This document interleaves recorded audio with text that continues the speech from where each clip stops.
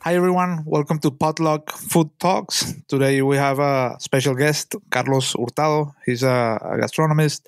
He has worked in, in different fields, and the reason I wanted to talk with him today is because he actually visited the different plantations of, of cacao in in Venezuela. Uh, and in the line of the the last episodes we made about chocolate, I think it would be interesting to talk with him about it. Hi, Carlos. How are you? Hey, how you doing? Very good. Great. Uh, so, could you tell us about, about your your experience uh, in Cacao de Origen, the, or a little bit about the project and how you got involved? Sure. Um, so, Cacao de Origen is a project meant to promote both production and consumption of Venezuelan cocoa and then chocolate in Venezuela. Um, and so, it's been super inspiring because at a time where Venezuela has been known for oil production and uh, oil sales have not gone as expected, we get into the into having lots of cocoa that we are not being able to export and we want to consume we want local consumption to rise. And so this is where maria fernanda comes in and and does this kind of um, marvelous project that she's launching. Um, and I got involved with them because I was doing my final, my thesis degree with with uh, the university, and I knew I wanted to go back and work with entrepreneurs. And she was already doing that, and I knew very little about cocoa. I've heard before that co- Venezuelan cocoa is the best, although we I haven't heard it as often that Venezuelan chocolate is the best. And so I mm-hmm. wanted to wonder why and work with the producers um, hand, hand and hand in hand to uh, to get to know what's going on there, what the reality is. And what, what exactly was your role in in this uh, in this task? Were you like? Uh, but I, I don't exactly understand. Like uh, the project is giving tools to farmers to produce their own chocolate, or or is it something else? Well, yes. Essentially, Cacao de Origen uh, is teaching people how to produce chocolate out of cocoa. Mm-hmm. Um, they also work to promote specific uh, varieties of cocoa and other and specific producers that are working within what we understand as good uh, measures and so they they already teach to people who want to become chocolate producers the technique on how to good to make high quality chocolate. And so mm, the objective of, of the project was to complement that with techniques and tools for these entrepreneurs to better sell the products that they would make. And so they we already knew that they had a, an excellent base on how to make chocolate and what what means quality in chocolate, but uh, we weren't so sure as to if they were good at selling that chocolate. And so the idea was that to to give them those tools to become better entrepreneurs. Okay, that's interesting. And uh, do you have like any in any interesting or memorable moments you you would share about uh, your time working with or interacting with these uh, farmers? Plenty. Um, the first one that I always think of uh, whenever thinking about Venezuela is that um, going to Cacao de Origen feels like getting into this forbidden land where you're actually getting like into this whole new country, although it's just uh, a farm, an antique farm. And so you have this hub for producers, um, chocolate and, and farmers who meet there and they are always in this cooperative um, mood and they are trying to all help each other out, even though they are all trying to sell their own product as well. And so it was very interesting because I got the chance to participate in many in many tastings where they would sell the product that they were trying to make. So they would bring the chocolate that they were making at home, and this is the the, the space for them to sell it. Basically, it would be like a, a pitch to investors, uh, but with the product. And okay, so, like doing like the same methodology you would do for for a startup or yeah. Uh, okay. it is almost that. It's just that they are not looking for an investment, but rather getting feedback. And so on the product itself. And so the challenge there was that they knew everything they needed to know about chocolate. It's just that they wanted to sell it to everybody without realizing that maybe that is a too broad of a market and way too too open for them to put this niche product. Keep in mind, at the time, a, a bar of chocolate can cost about four to six dollars in a country where some people live with fifty dollars a month. Mm-hmm. So the contrast there was huge, and so it was all about understanding this the market that they had and, and what they could how could they make the most out of the product they were selling okay okay and what would you say what was the most challenging and or, and also the most rewarding uh, of your at your time working there? Mm, so I got to Venezuela on March 10th of 2020, which is three days before we got in lockdown. And as someone who was trying to go there and teach people this thing about moving very quickly to Zoom meetings or Google Meets uh, in Venezuela would not work as easily, mainly because you have uh, 82% of the people do not have access to broadband internet. So even sending a voicemail, a, a, a yeah, a voice note would be complicated enough. Mm, not even talking about doing a, a Zoom meeting. And so the project was to develop the tools for people to to learn this. And so we had to pivot a lot and find out what were the ways ways we could communicate with the people um, over a period of these three or how, however many months that we didn't know at the time it would it was going to last. Um, and so after we we pivoted up, we found out that most people would be able to get telegram. And so we started making slides and sending the class by voice notes.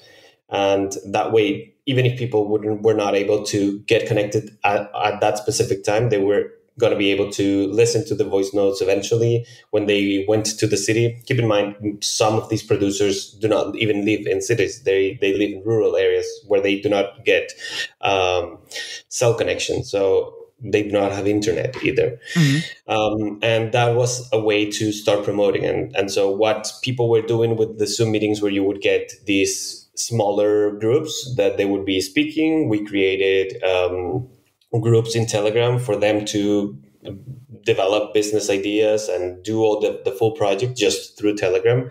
I think the most rewarding thing was just being able to go back and have that experience with them in person uh, in, in Caracas, where, where we were trying, which was the, the, the objective uh, in the first place. And were there like any inspiring cases of these farmers that at the end, like I don't know, they, they ended up making like a, a great chocolate or or a great success story with, with their business or anything?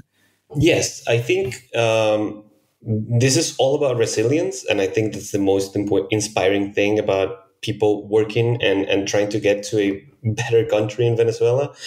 Uh, there's this story in particular that I love, which is um, this is a family that already had a, a production of chocolate and they had a few machines that were italian and um, they were starting to see people wanting to get into the business but a machine to a, even the smallest machine to, to start producing chocolate would cost them around 300 euros 350 euros and so you start seeing this family, this Italian family, understand how the machines work and start producing them themselves. The machines. Yeah, yeah, and okay. like for example, the this machine that you use to remove the uh, the shell, the shelling machine. Yeah, it is very expensive, and so they managed to make a prototype with a vacuum machine at home and a bucket and so they understood what the machine was doing. And so they started replicating it with common items that they that people could get. And so That's that crazy. is how you have the three thousand dollar shelling machine from Italy, and then you have a less than fifty dollar machine that you can make at home. And it empowers people to be able to to start their own business. They no longer have to wait uh, or or save enough money just to buy one of the machines that is just one part of the process but instead they are starting to to make a business and it is very impactful because you get to see how this impacts the livelihood of these people immediately. And so, without having to give them anything for free, they just teach them uh, this is what the machine is doing. And so, this is what we're trying to replicate. And these are the elements that we're going to use that you probably already have at home. Uh, and they did a workshop just on that. And it has eventually evolved into someone already selling those kinds of machines, those, those like uh, homemade machines. And so, it's very interesting how resourceful we can get whenever in crisis. Yeah, it's interesting how, how developing countries usually are the ones uh, producing the best cocoa in the world, and they export only the cocoa instead of uh, an end high quality product, which will be would be like like uh, much more profitable for these communities instead of you just putting a lot of cocoa on a on a sack and sending it uh, abroad. Yeah, of course. I mean, even even considering that um, transporting or shipping the the end product is even more expensive and more complicated than shipping the raw material. Yeah, because the, the weight is it's higher, and then yeah, you're you're, you're just sending a, a raw product that is going to be sold cheaper, uh, sold cheaper as well. Also, and also keep in mind the the fact that you have these labor costs that you would not have in in these uh, countries. I mean, Europe, um, labor is going to be much more expensive than what you're going to get in Venezuela, for example. And so uh, it is amazing how being able to produce these kinds of high quality chocolates uh, in Venezuela for cheaper, that traditionally we've heard about the Belgian chocolate as one of the best in the world as well.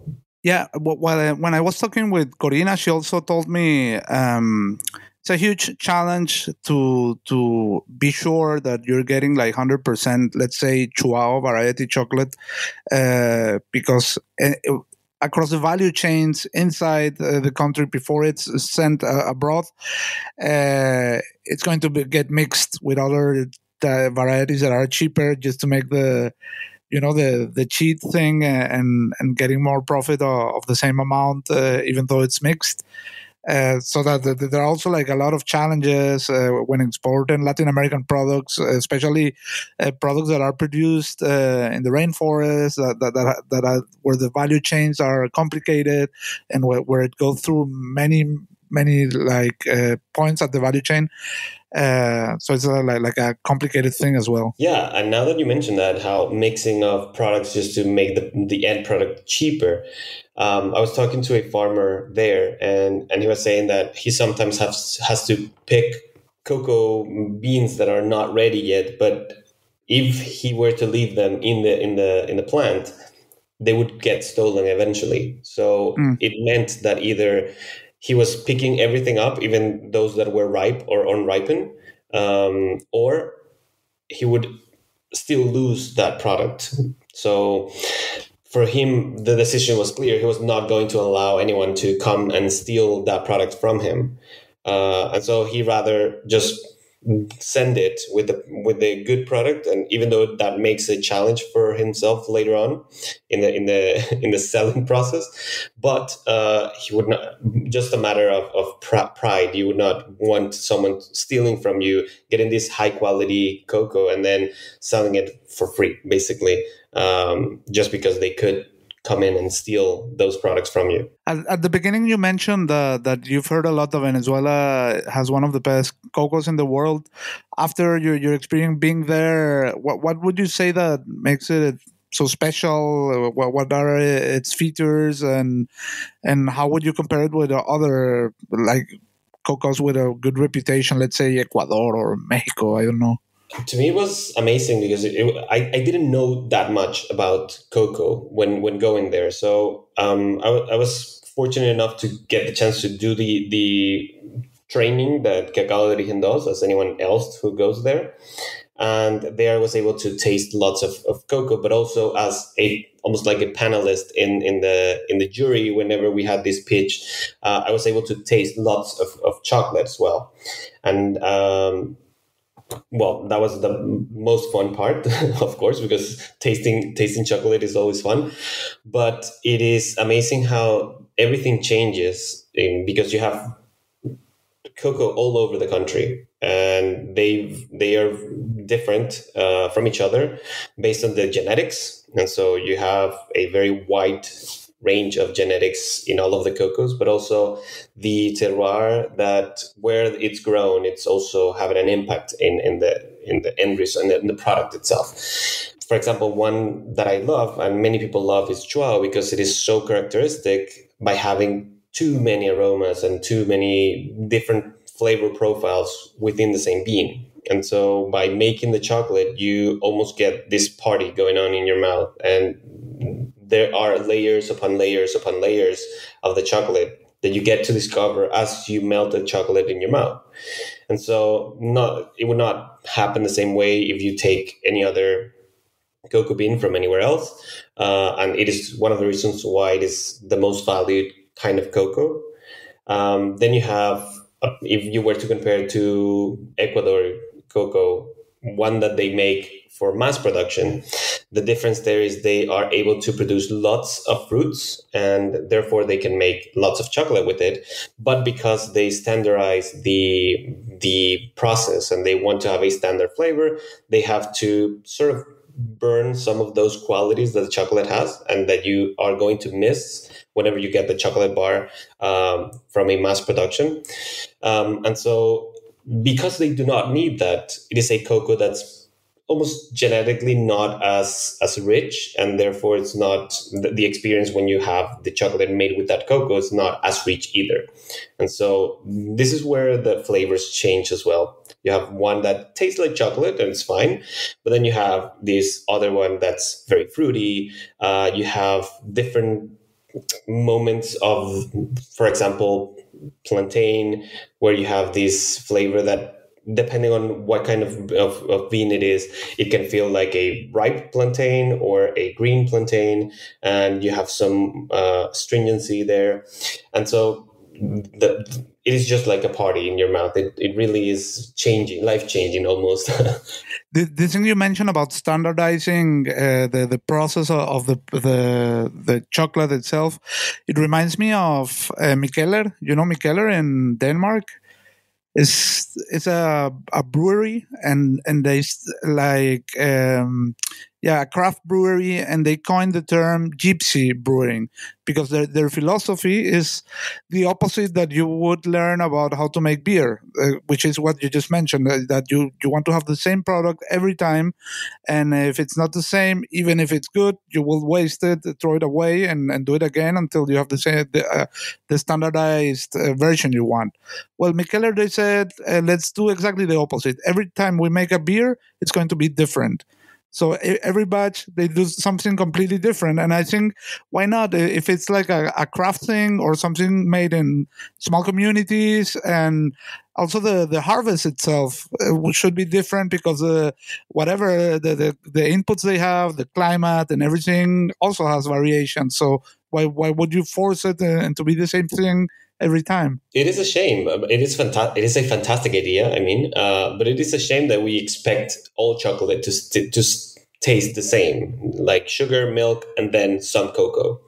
And so um, instead, I, I just love this concept because at the end of the day, when you have a mandarin, for example, from a tree, and then you grab another one from the tree next to it, so they are the same genetic load, they have pretty much the same terroir, but it's just two different trees. You cannot expect both mandarins to taste exactly the same. One can be a bit more bitter or a bit more sour. And so uh, I think that's part of nature. By standardizing chocolate, which is just a, the result of a, of a fruit or a product, um, it's very good for candies, but maybe not for chocolate. And also, as as you mentioned, like, have you tried uh, this uh, chocolate from from Chris's store? Uh, the one that is 70%, the Socomurcio, I think is the name of the variety. I think, yeah. And we talked about it that, that it tastes uh, a little bit like raisin. And that's the reason why it was usually discarded. People would take another cocoa bean because it was easier to standardize, and uh, the consumer is not expecting that flavor, and all these kind of uh, marketing things that, that force the production of things that are beautiful by nature and don't need to be forced. Completely, yes. I mean, uh, and it is a shame because it would be considered a defect of the chocolate. Exactly, a defect in the in the in the process, and and what a shame because that is the profile of that specific cocoa bean or or um, or the terroir where it's grown. Yeah, it's food racism. yeah, how crazy. Um, so, and how would you say that the, the entrepreneurship tools that you use empowered uh, small cocoa farmers in Venezuela? And do you think that this would have like an, an impact in, in the industry as a whole? I would like to think that it did. uh, I haven't been able to measure how much impact it has had, but when going there, the first the first thing that I wanted to work on was can we think of cocoa without necessarily thinking that you have to make chocolate with it?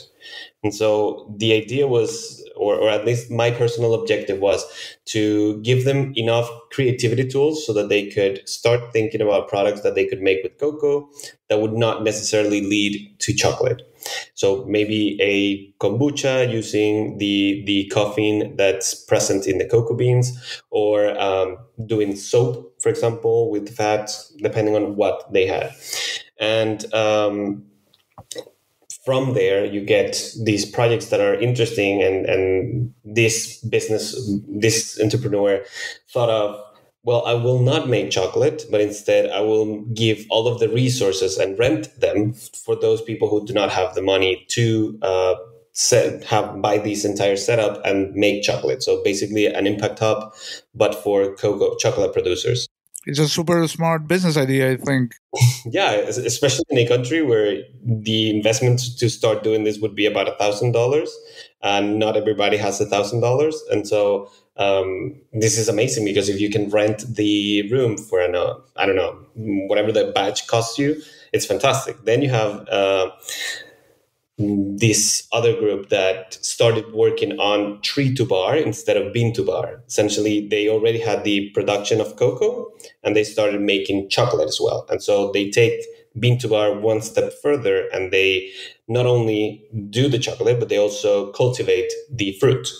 And so it is a the the traceability is just full. You you have the product uh, since you plant it all the way to the customer and you manage everything. And so because they had, they were such a robust uh, company now, they were able, they, they were able to start working on tourism as well. So no, they not only had the chocolate production, but they also had dinners. So they would have people come into the farm and they would explain everything to them while doing tastings. So it is interesting, uh, and I think it is amazing to be able to expand the market so much so that you're not only thinking of the product, but also many things that you can do outside of, of the of the product itself. It would be like breweries now that allow you to go to the brewery and you get to visit the, the brewery and you get to see what the process is, is. Same thing, but with cocoa as well. That's amazing. That's it for this week's episode of Potluck Food Talks. If you like what we're doing, make sure to subscribe to the podcast so you never miss an episode. You can also find us on Instagram and TikTok as Potluck Food Talks. The show airs every Monday.